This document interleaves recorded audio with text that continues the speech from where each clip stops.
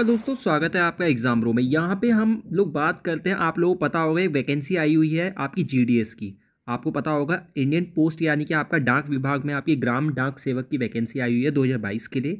और यहाँ पे काफ़ी अच्छी वैकेंसीज बताई जा रही हैं। यहाँ पे आप लोग देख सकते हैं, अड़तीस हज़ार नौ सौ छब्बीस वैकेंसी है। ये आपने हर जगह देख लिया होगा, आपकी लगभग यहाँ पे अड़तीस हज़ार नौ सौ छब्बीस वैकेंसी आई है, यानी कि thirty eight thousand nine hundred twenty six यहाँ पर वैकेंसीज आई हुई हैं। अगर आपने दसवीं करी हो, आप लोग इसको अप्लाई कर सकते हो। पर लेकिन दसवीं में आपके पास मैथ्स होनी चाहिए और इंग्लिश होना चाहिए, ठीक है? और यहाँ पे एज लिमिट भी काफ़ी अच्छी है, अट्ठारह से लेकर चालीस साल तक। अब मैं यहाँ पे आपको इसके बारे में, इससे रिलेटेड एक बहुत ज़रूरी सूचना देना चाहूँगा कि आप लोगों को इस फॉर्म को भरना चाहिए या नहीं भरना चाहिए? क्योंकि इसका एक बहुत बड़ा रीज़न है कि आप लोगों को ये भरना क्यों नहीं चाहिए और अगर जो भर रहे हैं, उन्हें भरना क्यों चाहिए? तो इस बारे में पूरा आपको बताऊँगा, इस वीडियो में एंड तक ज़रूर देखना, ठीक है?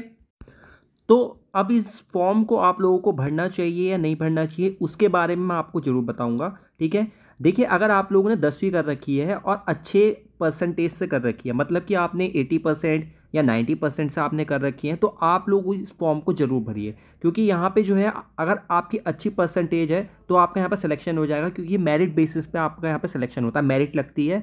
और अगर आपके मार्क्स अच्छे होंगे तो आपका यहाँ पे सिलेक्शन हो जाएगा। अब यहाँ पे जो ध्यान देने वाली बात ये है कि अगर आपके कम परसेंटेज है तो आपका यहाँ पे सिलेक्शन बिल्कुल नहीं हो सकता। ये मैं गारंटी के साथ दे सकता हूँ आपको, क्योंकि यहाँ पे जो है आपकी जो कट ऑफ़ जाती है, बहुत ज़्यादा हाई जाती है। आप लोग प्रीवियस ईयर भी देखोगे, बहुत ज़्यादा कट ऑफ़ जाती है। और यहाँ पे मैं आपको बताना चाहूँगा वैकेंसी भी बहुत कम है। आपको लग रहा है अड़तीस हज़ार वैकेंसीज़ हैं।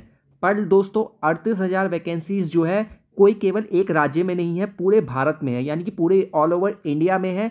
तो ये आप लोग देख लीजिए 28 राज्य है। अगर 28 राज्यों में भी आप लोग डिवाइड करते हो अड़तीस हज़ार वैकेंसीज़ को, वहीं अगर आप आप लोग आप लोग देखोगे जो 28 राज्य हो गए और आपके आठ यूटी हो गई तो यहाँ पे जो है आपकी जो वैकेंसीज़ है, वो डिवाइड होती चली जाएँगी, ठीक है? फिर डिस्ट्रिक्ट वाइज भी डिवाइड डिवाइड होंगी तो उससे भी यहाँ पे बहुत फ़र्क पड़ेगा वैकेंसीज़ में। तो यहाँ पे जिसके परसेंटेज जो है नाइन्टी से अबव है, उनके यहाँ पे चांसेस हैं कि वो उनका यहाँ पे सिलेक्शन हो जाएगा, क्योंकि मोस्टली जो है नाइन्टी परसेंट वाले यहाँ पर अप्लाई कर सकते हैं। तो यहाँ पे जिनके परसेंटेज सिक्सटी और सेवेंटी है, उनको मैं बिल्कुल नहीं कहूँगा अप्लाई करो। हाँ अगर वो पी डब्ल्यू डी से है, यानी कि वो दिव्यांग है तो ज़रूर अप्लाई करें। उनका यहाँ पे सिलेक्शन हो सकता है, क्योंकि उनकी कट ऑफ़ काफ़ी कम जाती है, जो पी डब्ल्यू डी वाले बच्चे हैं, ठीक है? दिव्यांग है। तो यहाँ पे वो बच्चे ज़रूर अप्लाई करें, अगर उनकी कम परसेंटेज है। पर एस सी की भी यहाँ पे बहुत ज़्यादा कट ऑफ़ जाती है, और मैं आपको बताना चाहूँगा, यहाँ पे करीब एस सी की भी एटी फाइव परसेंट से ऊपर ही जाती है।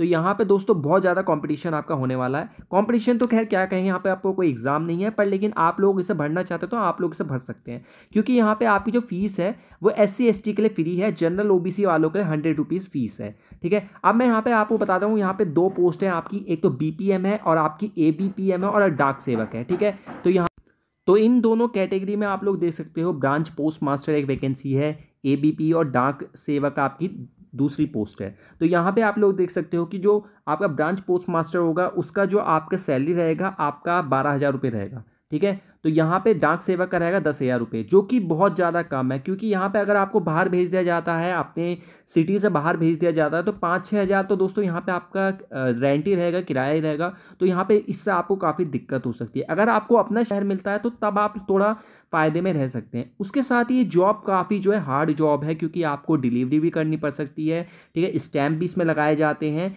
और आपको जो होती है होम डिलीवरी करनी पड़ती है, आपको जो पोस्टल होती है, उनकी जो डाक होती है, उनको आपको होम में मतलब घरों में जाकर उनकी डिलीवरी करनी पड़ती है, ठीक है?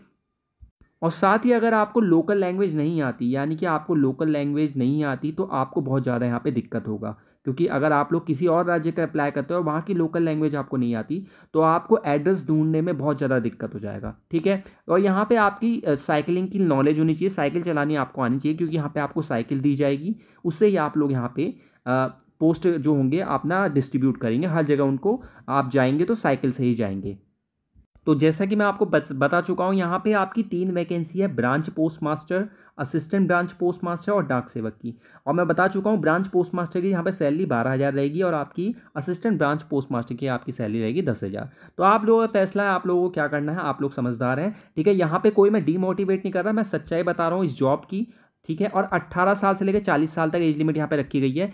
दूसरी सबसे इंपॉर्टेंट बात जो है यहाँ पे दो मई से लेकर पाँच जून तक आप लोग अप्लाई कर सकते हो। आप लोग यहाँ पे स्क्रीन पे देख रहे होंगे, दो मई से स्टार्ट हो जाएगा, पाँच जून इसकी लास्ट डेट है, ठीक है?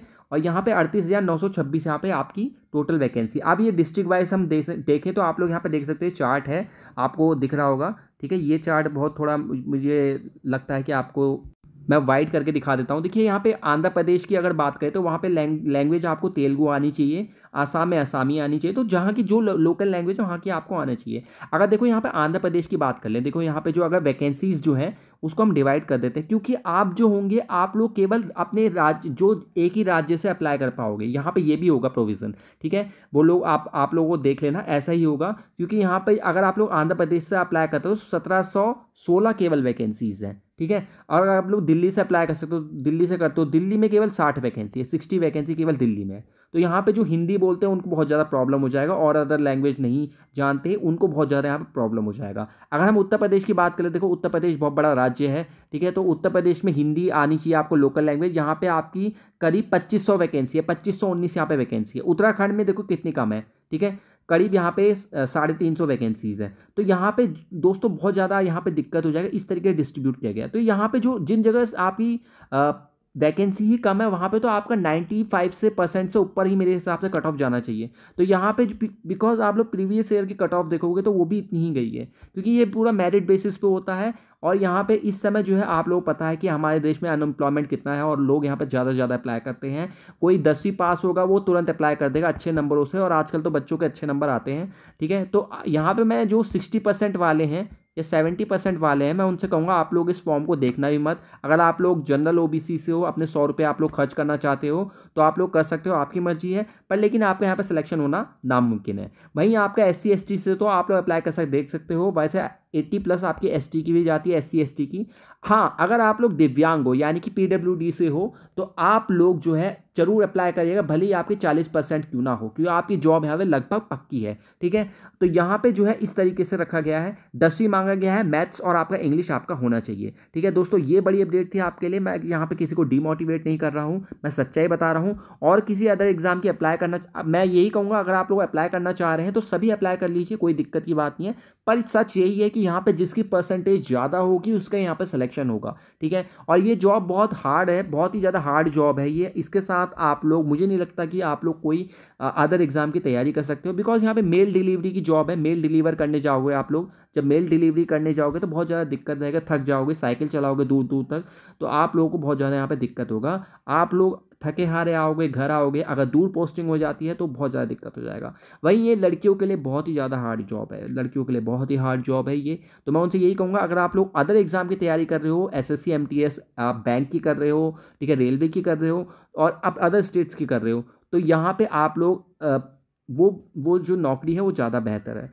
आप यहाँ पे प्रमोशन की बात कर लेते हैं दोस्तों, यहाँ पे प्रमोशन की मैं बता देता हूँ आपको। अगर आप लोग जीडीएस बन जाते हो या जीडीएस बन जाते हो या बीपीएम बन जाते हो तो आप लोगों में प्रमोशन होगा कैसे? मैं आपको पूरा जानकारी देता हूँ। तो पहले तो आप, ऐसा होता है कि आप लोग जीडीएस बनते हो, उसके बाद आप लोग एमटीएस बनते हो। जो आपका मल्टी स्टाफ होता है, वो बनते हो। करीब आपके पाँच साल बाद आप लोग अप्लाई कर सकते हो एमटीएस के लिए। एमटीएस के बाद आप लोग बनते हो पोस्टमैन उसके लिए भी आप लोग पाँच साल का गैप होना चाहिए। आप लोग जीडीएस के पाँच साल बाद, यानी कि आप जीडीएस की जब नौकरी करते हो, पाँच साल का आपके पास जो होता है एक्सपीरियंस हो जाता है, उसके बाद आप लोग एमटीएस और पोस्टमैन के लिए अप्लाई कर सकते हो, ठीक है? उसके बाद आप लोग पोस्टमैन के लिए अप्लाई कर सकते हो, ठीक है? अगर आप लोगों ने, आप लोगों ने ग्रेजुएशन कर रखी है तो आप लोग पाँच साल बाद जो होगा पोस्टल असिस्टेंट और शॉर्टिंग असिस्टेंट के लिए भी अप्लाई कर सकते हो। ठीक है? वो पाँच साल बाद अप्लाई कर सकते हो आपको कोई दिक्कत नहीं होगा।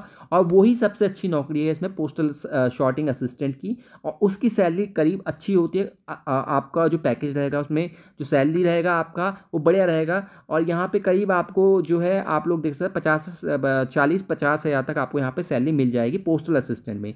वहीं आपको जीडीएस में मिलती है आपको केवल बारह हज़ार दस हज़ार सैलरी मिलती है। तो ये आप पे डिपेंड करता है आप लोग कैसे इस तरीके से लेते हो। पाँच साल अगर आप लोग यहाँ पे जी की जो सर्विस कर लेते हो तो उसके बाद आपको फ़ायदा है। तो मैं यही कहूँगा, आप लोग ज़रूर अप्लाई करना, वरना, पर लेकिन यहाँ पे दोस्तों, सच्चाई यही है परसेंटेज बहुत ज़्यादा हाई जाएगी, ठीक है? तो ये वीडियो थी मेरी, और अगर आपको ये वीडियो अच्छी लगी हो तो लाइक करिएगा चैनल पे नए हो तो सब्सक्राइब कर लेना बेल आइकन दबा लेना, और इसी तरीके की और वीडियोस पाने के लिए हमारे संग जुड़े रहिए। धन्यवाद वीडियो देखने के लिए।